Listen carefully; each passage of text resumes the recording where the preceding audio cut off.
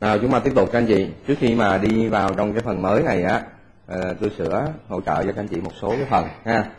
Đầu tiên là cái phần mà xuất cái danh sách này ra cái lưới này này nha. Thì là chúng ta làm rất là đơn giản thôi. Thực ra chúng ta chỉ định dạng cái lưới này thôi. Lưới của chúng ta là chấm read only thì chẳng hạn là bằng true. Không ạ à? rồi lưới của chúng ta chấm là alo cho phép cái gì đó. À, cho phép mà add round là chúng ta là bằng phone không ạ? À? không có cho phép không ạ? Rồi lưới à, chấm alo à, delete cũng không cho luôn rồi là bằng phone luôn. À, một số cái thì khỏi mất công rồi chúng ta làm cho nó lẹ thôi nha. À, lưới chúng ta là chấm uh, alo. Alo là ọt thứ tự như column thì cũng được cho bằng phone luôn thì cũng được không à delete rao rồi vân vân. Nó không có cho phép hết trơn luôn nữa lưới chúng ta có lẽ cái này là một cũng trong một cái quan tâm quan tâm là sọt về column đúng không à tức là cái này nó có cho phép là sọt hay không á. Thì là chúng ta có thể cho nó là à, bằng là ở đây nó sẽ có một cái gọi là cái à, sọt. Đang đây tôi coi cái thuộc tính nó là cái gì đây? À, data review à, không? Cái này thì nó lại là là read only cái property thôi nó không, không, không, không cho phép à, sọt order các bạn.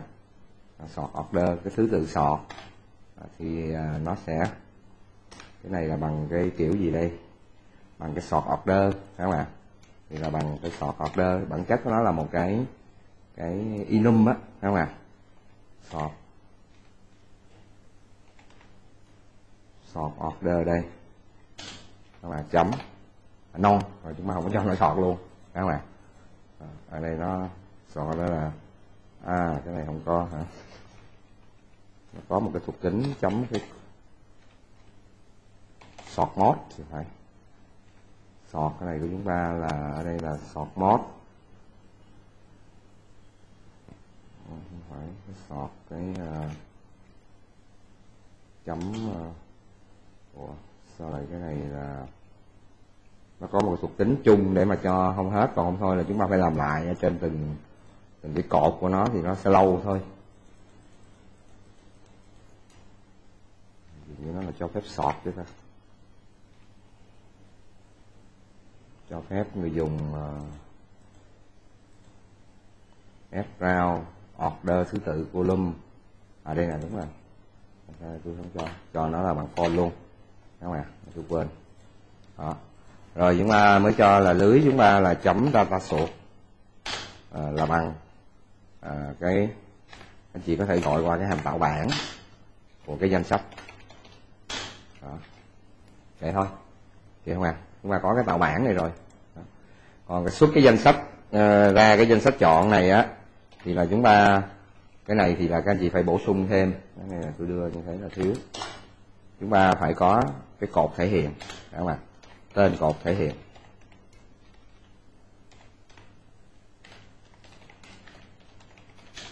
String chúng ta ghi cho nó rõ ra luôn nữa. Thì ở đây chúng ta chỉ cần là danh sách chọn à, chấm data source. Thì cái hàm, cái hàm tạo bảng chúng ta đã có sẵn rồi à, của cái danh sách. À, rồi danh sách chọn của chúng ta. Chấm cái display member nó sẽ bằng ra là tên cột thể hiện. À, rồi còn có cái gì nữa hay không thì chúng ta từ từ chúng ta sẽ tính sao đúng không ạ? Rồi cái hàm suất này ra đó thì à, thực sự ra là các anh chị có thể làm giống như là ở phần phía trên.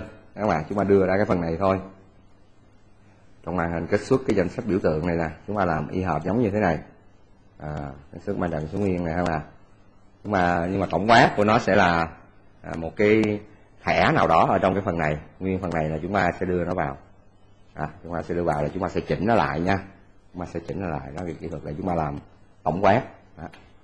ở đây thì không phải phái số nguyên nữa đâu mà chúng ta sẽ lấy cái thẻ. Đó, đó là cái thẻ nào đó tổng quát. Các bạn rồi ứng với lại cái thẻ đó thì là chúng ta sẽ cho ra một cái thể hiện thẻ. Hay là chúng ta cho ra một cái thể hiện thôi cho nó do cho nó thể hiện thẻ hoặc là thể hiện thôi cũng được luôn nữa. Các bạn cái nào thì cũng được hết trơn nữa. À, thể hiện thẻ thì chẳng hạn cũng được đó. thì ở đây là chúng ta điêm cái thể hiện thẻ. Đó. trong trường hợp này ví dụ như nãy tôi đưa là cái phần à, này là cái phần à, text box ra cái thường thường chúng ta làm là chúng ta sẽ làm ở trên một cái button. Ừ. Đây là thể hiện thẻ ha. Đây là thể hiện thẻ nó có độ ờ, rộng, độ cao gì đó của nó ở trong cái chuyện đó. Ở đây là chúng ta là thẻ hay số nguyên nó sẽ là thẻ. Tôi tôi làm cho các anh chị thấy vậy thôi, chứ còn tôi thì ít khi nào là tôi ờ, sửa như thế này lắm, sửa như này còn lâu hơn tôi gõ vô nó còn lẹ hơn luôn nữa đó. Sửa này dễ lộn lắm, tôi chỉ copy trong một số trường hợp thôi. Đây là thể hiện thẻ. Để do chúng ta thấy là cái cách mà chúng ta chuyển đổi qua thì là chúng ta làm được một trường hợp cụ thể rồi chúng ta chuyển đổi qua nó như thế nào thôi. Ha? À, cái thẻ. Ở đây là thể hiện thẻ. Ừ. Đây là thể hiện thẻ. Rồi ở đây là thể hiện thẻ. Chúng ta đặt tên là thể hiện sách thì nó đúng nó luôn nữa đó à, đây là bổ thì bổ sung cái thể hiện thẻ. Đây chỉ là cái ghi chú thôi à, thì làm như thế này thì cũng được. Nhưng mà làm như thế này á thì là chúng ta cảm thấy rằng là cái cột x và cột y này á là chúng ta phải đặt chết cái tên của nó. Đó mà à, nó phải có cái giá trị cột x cột y là nhiều khi người ta đặt tên là cột dòng cột cột cái gì đó luôn nữa thì nó nó nó không có ổn. Đó mà rồi cái độ rộng với độ cao của nó nhiều khi người ta cho theo cái kiểu khác. Thì ờ, chúng ta phải cải tiến. Tức là cho một cái hàm rồi á chúng ta viết đó rồi á chúng ta muốn để cho cái hàm này nó đủ mức độ tổng quát mà xài được á thì là chúng ta sẽ phải à, sẽ phải bổ sung những cái tham số vô. Chúng ta sẽ bổ sung những cái tham số vô. Thì à, tham số này chúng ta bổ sung ví dụ như là ở đây chúng ta sẽ nói rằng là cái à, cái cái cột mà cột mà hoành độ á chúng ta là, là cái hoành độ của nó không ạ? À? cái cột hoành độ hay là tên cột hoành độ hay là chúng ta chuỗi hoành độ gì cũng được luôn nữa. Đó. hoặc là chúng ta cho nó là cái chuỗi x cũng được các bạn à, chuỗi x. Cái chuỗi x của chúng ta à, hoặc là chúng ta cho các chị có thể gửi đây là biến là chúng ta đặt tên cho nó gọn luôn nữa là x chúng ta đi. E As string. À, đó là cái chuỗi của nó là y e string. Thì người ta sẽ gửi qua cái giá trị x và giá trị y. Nhưng mà làm như thế thì nó dở thì là chúng ta cho một cái optional. Không ạ? X e string là bằng x. X đây là cái chuỗi biến của nó đó nha. Rồi ở đây chúng ta cho một cái optional. Uh, y string là bằng y. Các bạn. À. rồi chúng ta sẽ có một cái giá trị optional luôn nữa. Cái này optional cái này là chúng ta sẽ phải ờ, đưa ra đó nha. Optional cái giá trị e string là bằng à, ví dụ như là giá trị. À, cái này là tên của nó đó tên thể hiện đó tên của cột thể hiện đó nha. Tên thể hiện cái này thực sự đó là tên thể hiện này cũng đặt là tên thể hiện. Tên của nó đặt tên cũng được. À, chúng ta đưa ra cái đầu nào mà chúng ta dễ bị thay đổi á chúng ta đưa lên đầu. Đó là cái kỹ thuật thôi. Xy thường thường là cho nó nó nó cũng chúng ta đặt chuẩn luôn nữa thì nó thành xy thôi. À, nhưng mà à, cái cái này thì nhiều khi là chúng ta phải làm cái cột tên của nó. Chúng ta đưa lên đầu. Cái nào mà dễ bị thì chúng ta đưa lên đầu thì lúc này à, thể hiện chấm test đó bằng à, không phải là giá trị nữa mà ở đây nó sẽ bằng tên. Người ta sẽ phải gửi qua cái giá trị đó đúng không ạ? Ở đây thì nó sẽ bằng không phải là cái chuỗi x này nữa mà cái chuỗi x này nè. À, chuỗi x này nó bằng có thể là khi mà gửi qua thì nó bằng đây là chuỗi y đúng không ạ? Ừ. À, nhưng mà ở đây chúng ta còn có cái độ rộng có độ cao rồi còn có thể nhiều khi là cái loại control nữa đúng không ạ? À, có cái loại control nữa thì à, các anh chị nếu mà muốn á thì là chúng ta làm tổng quát là chúng ta làm như thế này nè. Cái này nó sẽ khó hơn chút xíu. Chúng ta sẽ có là thể hiện as control. Cho người ta gửi qua một cái control luôn nữa. Đó. Thì lúc này á à, lúc này à, chúng ta sẽ cái new này của chúng ta đó thì à, chúng ta sẽ phải cực hơn chút xíu. Cái phần này thì nó nó nó nó khó. Nó khó. Ở đây là chúng ta phải dùng thêm một số cái để làm sao mà chúng ta lấy ra được cái uh, cái cái loại của cái control này nè cái tay của nó rồi chúng ta tạo ra cái đối tượng này. Đó. tôi chỉ nói thôi đây chứ tôi không có sửa ở đây nha chúng ta tạm thời là chúng ta sẽ sử dụng tới nhiều đây không là những cái button như thế này là trong trong cái môn này là các anh chị cũng học được nhiều lắm rồi đó nha. À, cũng, cũng sẽ làm được nhiều lắm rồi đó. À, chúng ta còn có thể là à, hoặc là anh chị cho cái độ rộng của nó là bao nhiêu. À, độ cao của nó thì như là cố định rồi nhưng độ rộng nó là bao nhiêu phải không ạ? À? À, ở đây chúng ta dùng hơi lẫn lộn cái tên này nha. À, chúng ta sẽ có ở đây cái xy này chúng ta đặt tên cái này hơi dở ha. Chúng ta đặt là chuỗi x đi. Ở đây là chúng ta là chuỗi y. À. thế thì ở đây là sửa lại là chuỗi x. Đó Đấy, nó lẫn lộn với cái xy ở trong kia. Chuỗi y đó. Rồi thôi được rồi. Tạm thời nó là như thế đó nè chúng ta cho cái giá trị này là cố định là là 30 thì ờ, muốn thì chúng ta gửi qua tham số là độ rộng với độ cao của nó luôn nữa thì cũng được. Tên, độ rộng, độ cao, phải không ạ? À? được rồi. Tôi cho là một cái ờ, tại vì bình thường ờ, của nó đó, thì độ rộng là độ cao là bao nhiêu thì là chúng ta có thể cho thành cái optional luôn thì chúng ta khỏi mất công đưa vô chứ chúng ta dễ trơn á. Chúng ta sẽ cho là cái độ rộng e integer không à là bằng 30 rồi optional. Cái độ cao. E integer. Ví dụ như là bằng 20 đó. Thì lúc này các anh chị gọi thì các anh chị sẽ chuyển nhiều tham số hơn. Ở đây nó sẽ có phải thể hiện thẻ. À, chấm là cái hay. Thì là chúng ta sẽ cho bằng là cái độ cao. Còn chấm cái này thì chúng ta cho nó bằng độ rộng. Được không ạ? À? Đó Tức là vô tới đây thì các anh chị thấy nó còn có một cái giá trị hằng thôi đó là cái bách tanh này nè. Nó chỉ có một giá trị hằng này bách tanh này thôi. Thì cái kỹ thuật này nó khó. À, do đó rằng là tôi chỉ nói sơ thôi. Anh chị nào tìm hiểu thêm á làm sao mà chúng ta có được một cái đối tượng chúng ta tạo ra một đối tượng cùng loại với nó.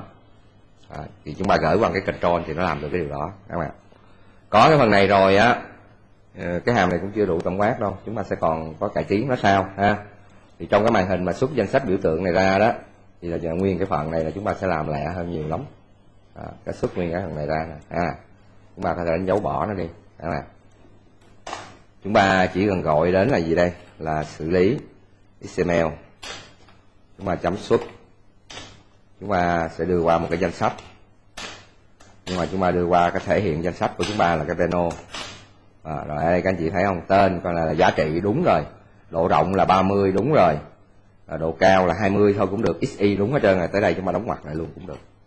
Nếu mà tất cả đều theo ý của chúng ta hết trơn thì chúng ta đóng ngoặc lại đây hết cũng được các bạn và chúng ta chạy lại thử coi nó sẽ ra như thế nào. Đó, đó được không đồng ý chúng ta rồi thôi còn thôi thì chúng ta sửa lại nha. À, có những cái hàm như thế này thì rất là đỡ cho chúng ta để mà chúng ta làm những cái bài nó nhanh hơn chứ không gì hết trơn luôn nữa ở đây chúng ta mấy cái này còn cải tiến hết trơn á. Còn cải tiến đủ hết á. Ừ. Thôi, bây giờ chúng ta mới qua tới một cái phần mới là chúng ta sẽ ép vào đây một cái project. Là phần này phần cuối ở trong cái chương này rồi ha.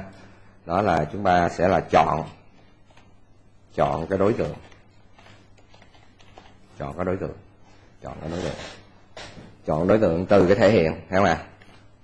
Từ cái thể hiện danh sách tức là phần này là tổng quát nó là phần nhập liệu. À, nhưng mà tôi giới hạn là tôi chỉ dạy cái chọn thể hiện này thôi tại phần đó là phần quan trọng. À. tại vì cái phần mà chúng ta mà nhập vô cái gì đó mà kiểm tra nó gì đó thì nó sẽ phụ thuộc vào chúng ta phân tích như thế nào. Và nó phụ thuộc vào chúng ta uh, sẽ uh, có những cái ràng buộc như thế nào chúng ta kiểm tra. Thì trong cái môn công nghệ phần mềm chúng ta làm nhiều quá rồi đúng không ạ? À, tôi chỉ đặt cái vấn đề ở đây thôi nha. À, cái vấn đề ở đây. Cái vấn đề đó. là chúng ta à, cần xác định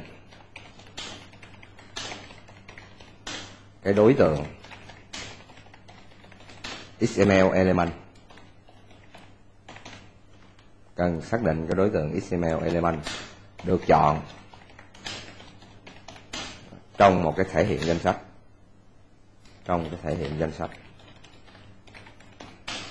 cần xác định cái đối tượng XML được chọn trong cái xác. Với một cái thuật giải là ví dụ như người ta nói rằng là à, ví dụ như thế này là nha ví dụ như là nhân viên.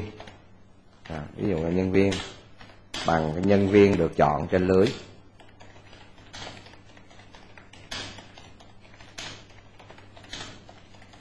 Đó. Hoặc là người ta nói là đơn vị bằng cái đơn vị được chọn Ờ, trong cái danh sách chọn trên cái danh sách chọn. Hoặc là thuộc giải của chúng ta đó là quân cờ. Quân cờ à, hay là phân số thì chẳng hạn nếu mà bài của chúng ta là phân số bằng cái phân số được chọn.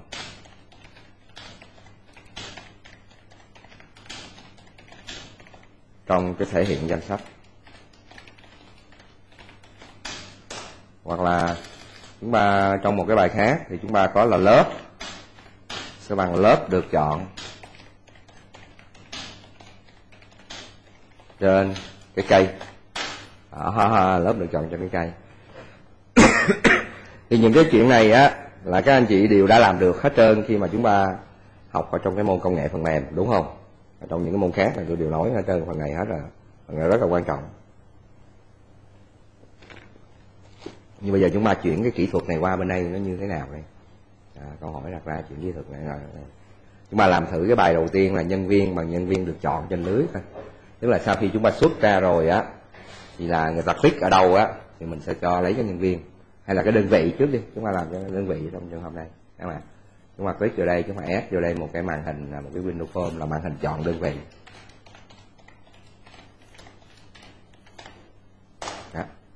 Thì à, ở trong này chúng ta sẽ thả vào đây một cái combo box là danh sách chọn, ha.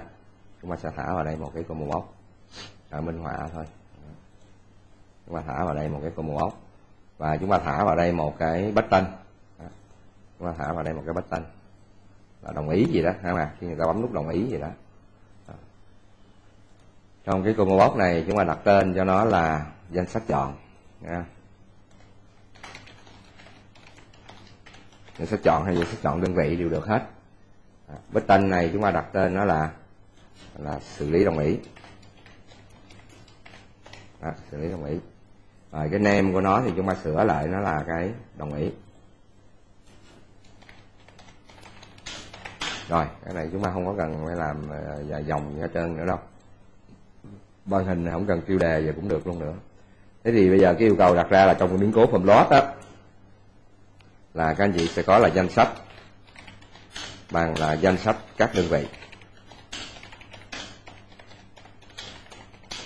Đọc. Từ cái tập tên. Công ty xml được chưa? Danh sách bằng danh sách là gì rồi chúng ta mới kết xuất nó ra. À, kết xuất cái danh sách. Vào cái danh sách chọn. Tôi mới sửa cho các anh chị bài nãy đó thì chúng ta để dùng cái đó chúng ta sẽ làm cái phần này ha. Đó là đối về cái biến cố uh, upload sau đó đó với biến cố mà người ta xử lý đồng ý này nè. Đó, thì là cái thuật giải của nó sẽ là đơn vị bằng cái đơn vị được chọn. Nhiều khi chúng ta nói được chọn cũng hiểu rồi các bạn rồi chúng ta thử, chúng ta sẽ xử lý gì đó, chúng ta sẽ kết xuất cái đơn vị. Rồi với cái chuỗi XML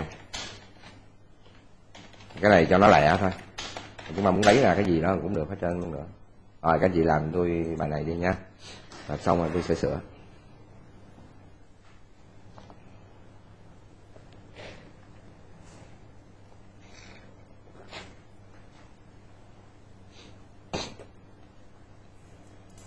Hai bài này là hai bài ờ, căn bản á. Một bài tôi làm trên lưới với một bài tôi làm ở trên cái đơn vị này.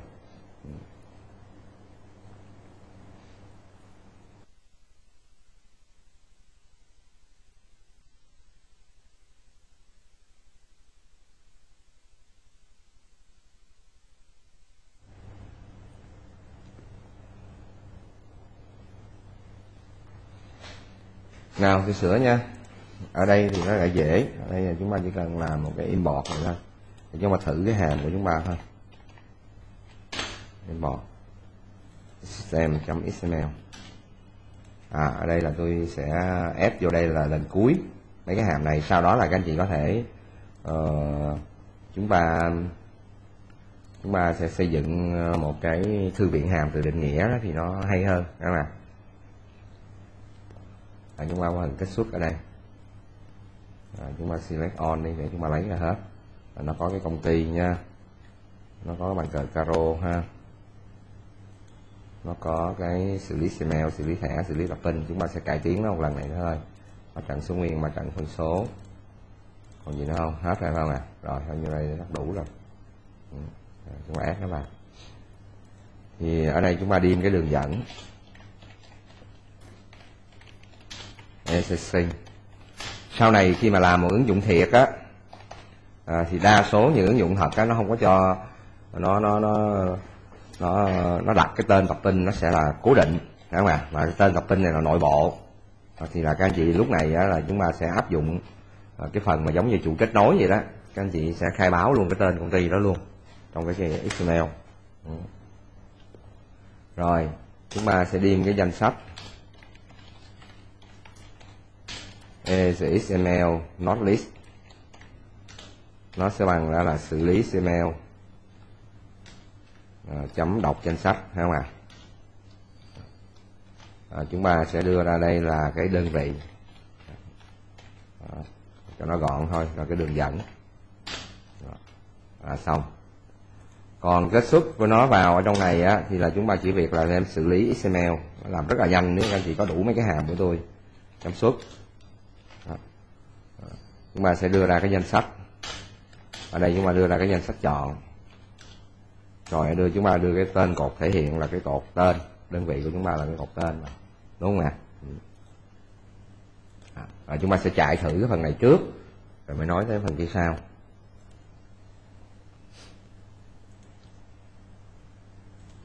Nếu anh chị nào học tốt ở trong môn công nghệ phần mềm rồi thì tới đây tôi nghĩ là đơn giản lắm, không có chuyện gì hết đơn luôn nữa đơn giản lắm. À, nó có ba đơn vị không một hai ba không nào? Rồi bây giờ chúng ta mới xử lý cái biến cố đồng ý. À, bằng đồng ý. À. À, làm sao đây? À, đơn vị bằng đơn vị lựa chọn. Thì ở đây bắt đầu tôi với các anh chị cùng tư duy nha. À, tôi với các anh chị cùng suy nghĩ làm sao lại làm ra lấy ra đây. Chúng ta nhớ lại cái phần này mà chúng ta làm á thì là chúng ta làm gì ha? Chúng ta làm gì? Nhớ lại hồi xưa thôi và chúng ta điêm chúng ta mới điêm cái bảng data table đúng không? Nó sẽ bằng danh sách chọn, chấm data source. Đúng chưa? Rồi chúng ta điêm cái chỉ số. Is integer nó sẽ bằng danh sách chọn, chấm selected index. Đúng không ạ? Rồi chúng ta điêm cái dòng. Is data round đúng không ạ? Thì nó sẽ bằng ra là cái bảng chấm rau của chỉ số nhớ không? Cách này là cách căn bản nhất. Ừ. Nhưng mà cái này nó lấy ờ, chúng ta được cái dòng. Chứ nó không lấy ra được cái đơn vị nó không lấy được XML element nó chỉ lấy ra chúng ta được cái data round thôi. Chỉ lấy được data round đó. thế thì các anh chị ờ, nghĩ rằng như thế nào? Chúng ta đem công vợt cái data round này thành ra là cái, cái XML element được không? Được nhưng mà công vợt nó thành ra là cái XML element được. Thì chúng ta sẽ có một cái hàm ngược trở lại. Chúng ta lấy cái data round này chúng ta chuyển nó qua thành ra XML element đó cũng là một cách. Nhưng cách này thì là nó có cái dở. Là cái XML element mà chúng ta tạo ra lúc đó đó thì nó không phải rằng là cái XML element mà lúc mà chúng ta đọc vào ban đầu. Nha, phải lưu ý nha.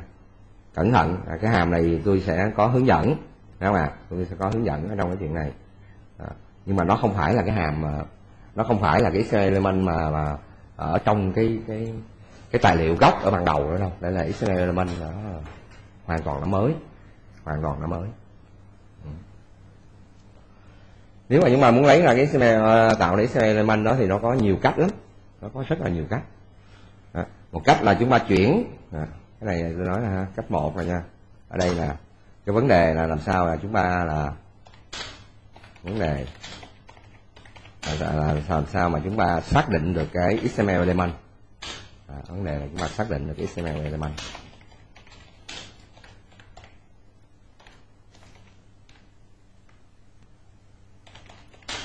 đơn vị thì chúng ta có rất nhiều cách. Cách một á là chúng ta sẽ tạo ra một cái hàm.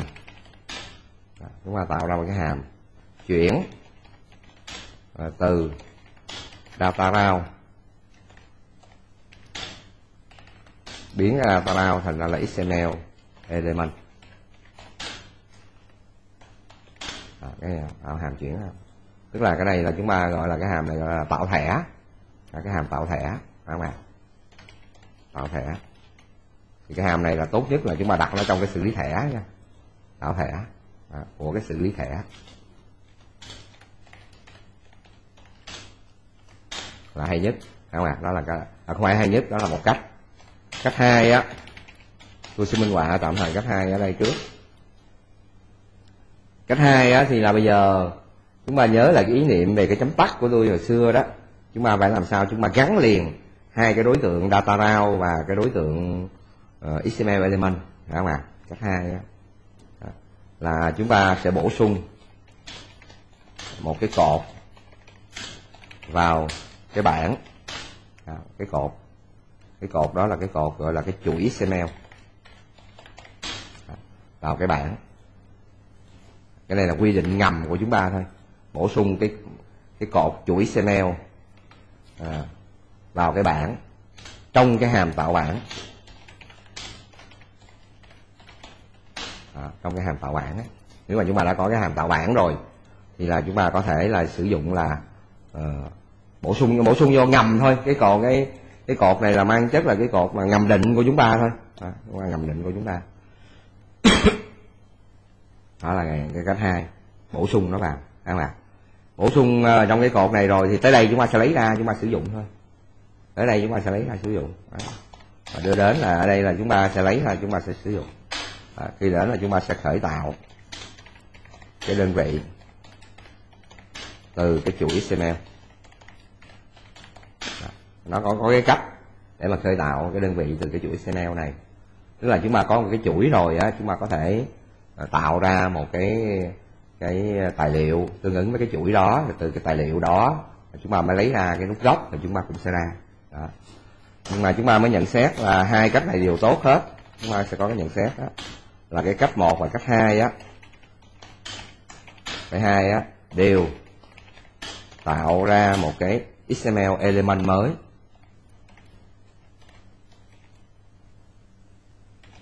Tạo ra XML element mới thì tạo ra một cái XML element đó. đó. chứ không phải, nó nó nó XML element mới này á, là nó nó có cùng cái nội dung với lại cái XML element mà ở trong cái tài liệu gốc đó. Đó. tạo ra XML element mới có cái cùng cái giá trị các cột cùng hết á, có cùng giá trị các cột với cái XML element gốc.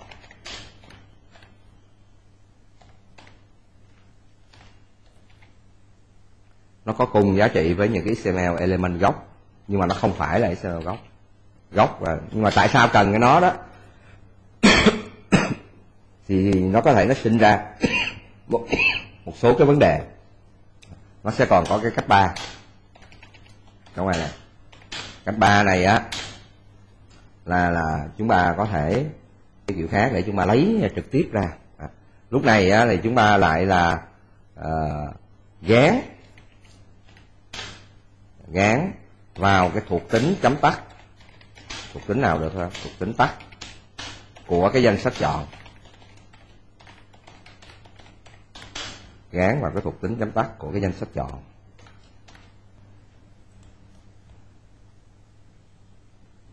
Cái danh sách. Gán cái danh sách hay là gán cái danh sách. Vào cái thuộc tính tắt của cái danh sách chọn. Trong cái hàm, tức là chúng ta sửa lại mấy cái hàm này thôi. Trong cái hàm mà xuất. Trong cái hàm xuất. À, hàm xuất đương nhiên là của danh sách chọn á. Và với cái cách này á, thì là chúng ta sẽ đưa đến là chúng ta sẽ xác định trực tiếp, là chúng ta có thể xác định trực tiếp. Cái XML element gốc.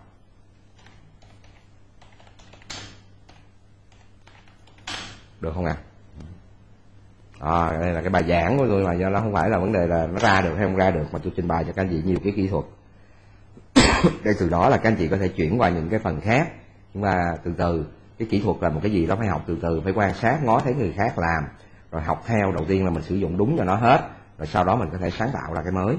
À, sáng tạo ra cái mới tất nhiên cái gì phải có thời gian rất là nhiều ở trong cái việc này. Ờ. Không biết hiểu à. Cái cách một cách hai này thôi thì tôi để lại cho các anh chị nha. À, kể nào là vậy cách hai này có thể nhiều người khó hiểu nè phải không ạ? Có nhiều người khó hiểu. Thì tôi chỉ hướng dẫn là ở đây á là chúng ta có được cái chuỗi XML này rồi thì chúng ta phải thôi được rồi cái này là vô phim online nếu cần thiết các anh chị cảm thấy quan tâm ở trong chuyện đó. Rồi, chứ còn tôi chỉ một cách thì đương nhiên là cũng được rồi. À, một cách cũng được rồi và như vậy thì ở đây chúng ta sẽ làm như thế này. Đó, nếu mà với cái cách ba. Với cách ba đó là chúng ta sẽ điêm cái danh sách. Điêm danh sách. Chúng ta sẽ lấy lại cái danh sách gốc đó. E xml not list. Xml not list. Nó sẽ bằng là danh sách chọn chấm tắt. À, danh sách chọn chấm chấm tắt. Được chưa? Chúng ta vẫn điêm cái chỉ số is integer nó sẽ bằng danh sách chọn. Danh sách chọn. Chấm selected index. Và như vậy á là chúng ta sẽ có ngay cái đơn vị chúng ta là điêm cái đơn vị của chúng ta e sẽ là vào à, xin lỗi e sẽ xml element nó sẽ bằng danh sách của chúng ta thứ chỉ số. À, là có sẽ sách đó rồi các bạn còn kết xuất nó lên đó thì hoặc là xử lý gì đó thì là chúng ta cứ message box chấm xô. Cái đơn vị này. Chấm outer xml à, nó sẽ ra nhiều lắm mà nó ra mấy cái nhân viên trong đó luôn rồi đó. Tất nhiên bây giờ bài này mà các anh chị chạy điện trực tiếp cái này nó không ra đâu nha. À, chúng ta phải sửa lại à. Phải lưu ý á là chúng ta à, chúng ta dùng cách ba này á là chúng ta phải có gán này vô. Thì bởi vậy là cái hàm suất này ra của chúng ta đó chúng ta sẽ điều chỉnh lại. Phải không ạ à? Cái hàm suất này ra chúng ta điều chỉnh lại. Cái hàm suất à, này chúng ta sẽ điều chỉnh lại. Đây à, không phải hàm suất lưới. À, chúng ta sẽ bổ sung thêm. Chúng ta làm thêm cái phần này thôi. Chúng ta sẽ có là danh sách chọn. Chấm tắt. Ừ, cái này nó phải hiện lên on nó trơn nó mới thấy. Nó sẽ bằng danh sách. À, chúng ta phải đưa ra cái này vô thì là, đương nhiên là chúng ta lấy lại thì nó sẽ được. Chúng ta lấy lại thì nó được. Đó mà rồi. Dạ, Chạy thử nha. À, chúng ta bấm đồng ý rồi. À, nó là đơn vị không rồi mà tôi nói trước là nó là nhiều rồi đó. Cái auto xml là lấy đủ hết trơn luôn nữa đó. À, chúng ta chọn qua đơn vị một các bạn à, chúng ta lấy nó sẽ ra hết. Muốn ra cái đơn vị nào cũng được hết trơn nó ra. Tất nhiên là lúc mà có cái đơn vị này rồi các anh chị có thể lấy danh sách nhân viên nó lấy đủ thứ hết trơn luôn nữa. Đây là cái gốc các bạn rồi đó là tôi đã hướng dẫn được trong cái phần cái combo box các bạn cái cách một, cách hai, nếu mà ai quan tâm đó thì, nhưng mà thực ra cái đó nó cũng có cái giới hạn của nó. Chúng ta dùng một cách này thôi, chắc cũng đủ rồi. À, một cách như thế này là cũng đủ rồi đó. Rồi tôi mở rộng cái kỹ thuật để mà nói cho các anh chị hình dung là cái cách mà mà tôi suy nghĩ và để tôi làm ra những cái hàm này thôi, chứ gì ở trên. Chúng ta tiếp tục là chúng ta ép một cái màn hình. À, cái này thì à, tôi hướng dẫn nhanh thôi. Màn hình lại là chọn chọn nhân viên.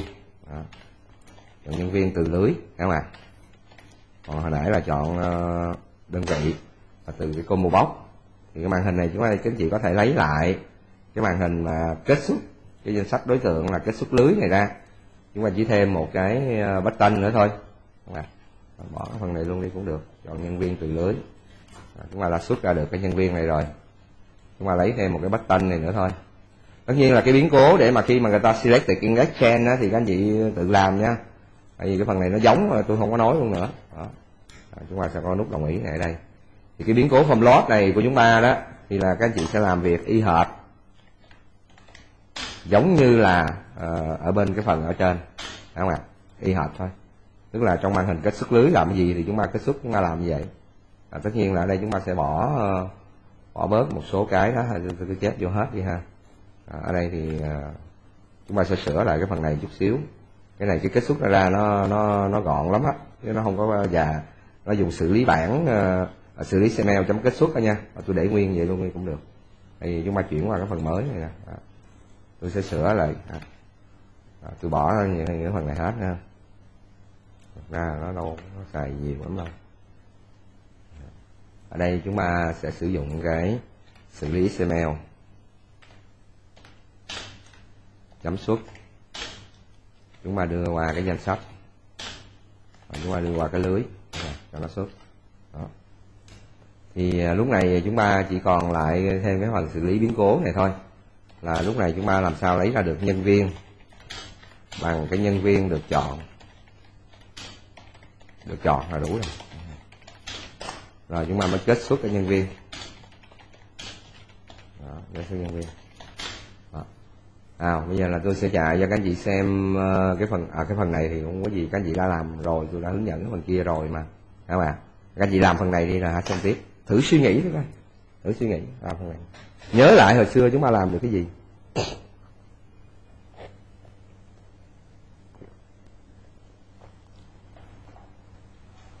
Nhớ lại thôi coi hồi xưa chúng ta làm gì. Xưa gì cũng mới đây thôi ha. Học mới có học kỳ thôi.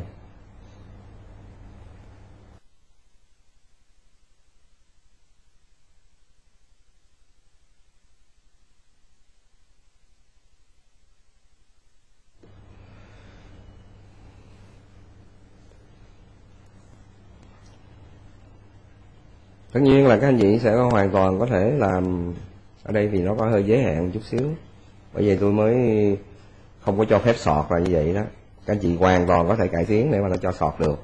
Nhưng mà riêng cái kỹ thuật này thì sẽ không có cho phép sọt. Chúng ta sẽ điêm cái danh sách của chúng ta. E is integer à, xin lỗi e is xml nó list. Đúng không? nó bằng cái gì đây? Nó sẽ bằng lưới của chúng ta là chập tắt. Vậy thôi. Và chúng ta vẫn điêm cái chỉ số.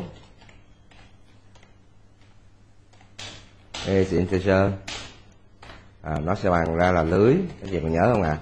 nó có nhiều cái kỹ thuật. Nhưng mà ở đây là chúng ta đã lỡ không có cho nó rồi thì là chúng ta sẽ lấy luôn ngay cái current round này là chấm index. Kỹ thuật này là không có sọt nha sọt là sẽ chậm rồi chúng ta mới điền nhân viên e xml element nó sẽ bằng là danh sách thứ chỉ số rồi được chưa kết xuất nhân viên thì ms message box chấm show ờ, là cái nhân viên chấm uh, cái outer xml đó. được không ạ à? Rồi chúng ta sẽ chạy lại ha? Cái này là tôi nghĩ hoàn toàn các anh chị có thể suy diễn ra được nhưng mà ờ, tôi nhắc lại là có cái kỹ thuật khác à, nó có thể cho phép. Tại lúc này thì nó hơi giới hạn ha chúng ta cứ chọn ở trên này nhân viên 20 gì đó. À, chúng ta bấm đồng ý các bạn. Ủa nó đi đâu đây ta? Nó chạy văng ra ngoài luôn ha chỉ số chúng ta bằng à đúng rồi xin lỗi tôi chưa sửa lại cái hàm à, xử lý email thì nó làm gì nó có cái chấm tắt nữa ở trong đó không ạ? Chúng ta phải sửa lại cái hàm này đó. Chúng ta sẽ có cái lưới chúng ta là chấm tắt. Đó, nó sẽ bằng danh sách. Nhưng mà lúc này tôi nhắc lại là sao? Là nó bị giới hạn nha. Nó bị giới hạn ở ở chỗ rằng là nó không không cho phép sọt thì là mới được. Không cho phép sọt thì mới được nha. Đó. rồi bấm đồng ý. Đó. Nhân viên 20 nè các bạn. Đó mà lấy vô đây như nó cũng ăn luôn nữa. Đó. Nhân viên 40 các bạn. Ừ. Cái này nó khá nhiều nhân viên. Nhưng ở đây là không cho phép sọt. Ủa? Hồi nãy tôi không có cho phép sọt rồi mà sao? À như vậy phải quét ra những cái cột của nó. Trong cái sọt của này hồi nãy tôi không cho. Nếu mà chúng ta mà sọt những cái cột này ở đây nó sẽ là cặp đó nha. À, đó là nhân viên 71 mà theo bạn. À, nó không có được. Như vậy thì chúng ta sẽ cải tiến ờ, cái hàm này của chúng ta. Đó chúng ta phải không cho phép nó sọt hết toàn bộ không ạ?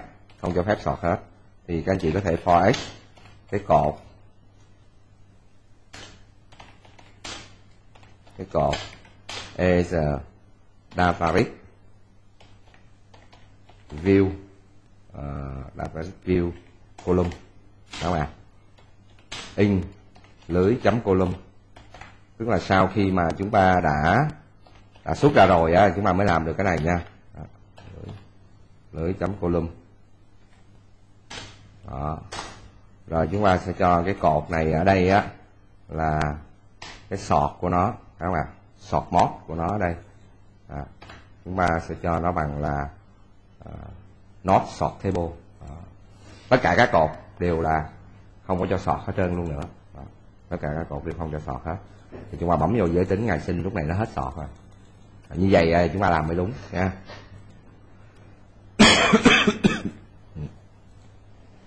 Rồi. Còn lại khi mà lấy trực tiếp lên cái biến cố đó thì các anh chị tự làm ha. Ở đây tôi hướng dẫn cho các anh chị uh, thêm một cái luôn nữa là bây giờ là chúng ta đã thấy màn hình chọn đơn vị này rồi á. Mà có nguyên cái đoạn này rồi á thì là chúng ta không có dừng lại ở chỗ là chúng ta cứ mỗi lần chúng ta làm như thế này đúng không ạ? Mà chúng ta sẽ đưa toàn bộ cái phần này nè đưa toàn bộ phần này. Chúng ta sẽ chuyển qua cái xử lý thẻ. Ở đây thì nó lại là thẻ. Nha, đừng đừng. Chúng ta cứ phân biệt giữa hai cái cái nào mà làm việc trên cái thẻ thôi. Đó. chúng ta sẽ có một cái public share function. Ở đây là chúng ta chọn. Khỏi nói chọn thẻ vậy trơn vậy là xử lý thẻ rồi. Từ một cái danh sách chọn. Đây sẽ combo box. Và cái kết quả nó sẽ trả ra một XML element à, các chị chỉ việc điêm kết quả as XML element. Rồi chúng ta return cái kết quả. Đó, chúng ta return cái kết quả. Đó. à, rồi ở giữa của chúng ta đó thì là cái phần này thôi. Đó. chúng ta cái điều ở đây là chúng ta gán kết quả vào chỗ này chứ không phải là cái đơn vị nữa. Được không ạ? À? đó. Rồi. Tương tự như thế thì là chúng ta chúng ta sẽ làm cho cái hàm là một cái hàm chọn, y hệt giống như thế. Nhưng bây giờ là chọn ở trên lưới. Chọn, bây giờ chọn trên lưới. Chúng ta chọn ở đây thay vì là chúng ta chọn trên combo box, thì là chúng ta chọn trên cái lưới. Data grid view.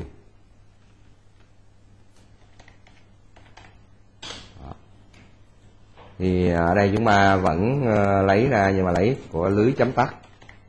Không ạ? À? lấy của lưới chấm tắt.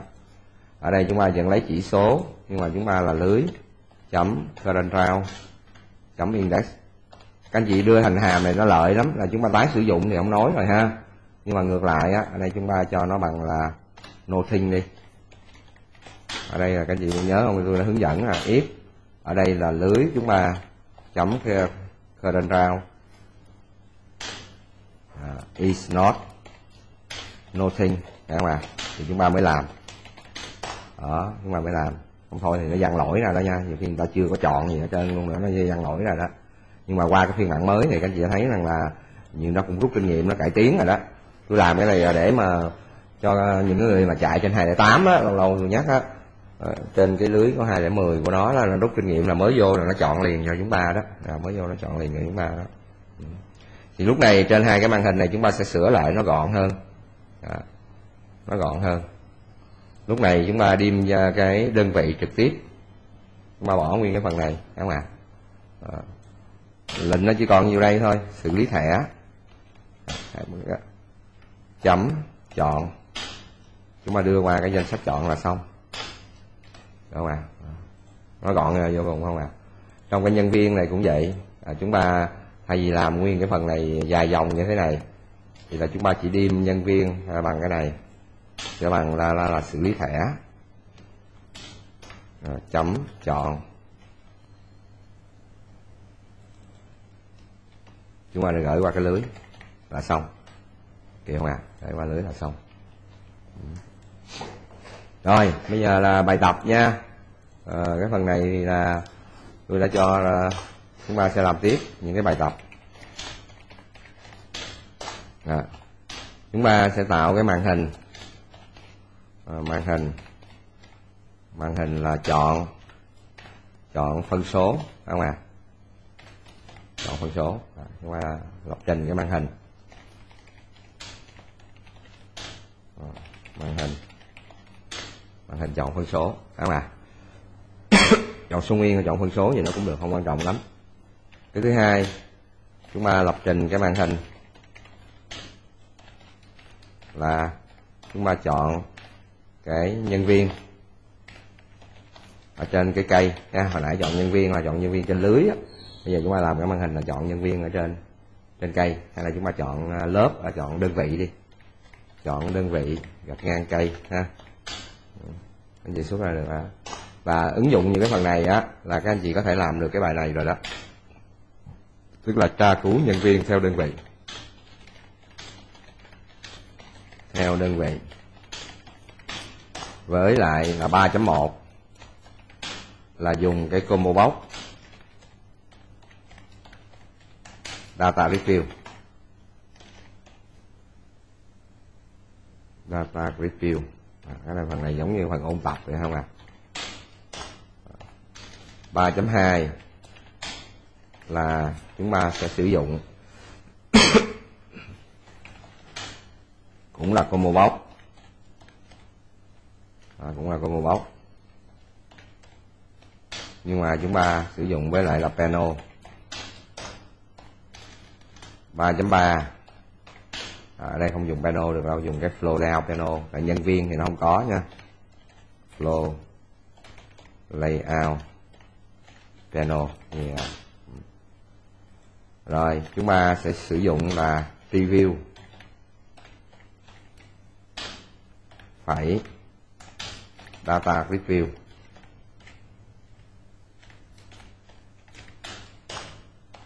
và 3.4 thì là chúng ta mới dùng review kết hợp với lại cái flow layout panel Đó. các anh chị làm xong hết cái bài này rồi là cái căn bản về cái chuyện mà à, riêng đặc biệt chỉ cần có cái bài ba này thôi à. ai làm được cái bài ba này xong hết. Bài ba này là bốn màn hình đó nha. Là coi như là cái phần căn bản về giao diện. Căn bản mà căn bản cũng hơi cộng rồi đó. À, về giao diện à, với cái công nghệ XML mà chúng ta làm được mà sử dụng cái dữ liệu lưu trữ ở trong cái XML được không ạ? à? À, cái này thì là dành tới cái phim online à, nếu cần thiết là tôi sẽ minh họa tôi sẽ hướng dẫn. Các không ạ rồi chúc các anh chị làm tốt nha. Ừ.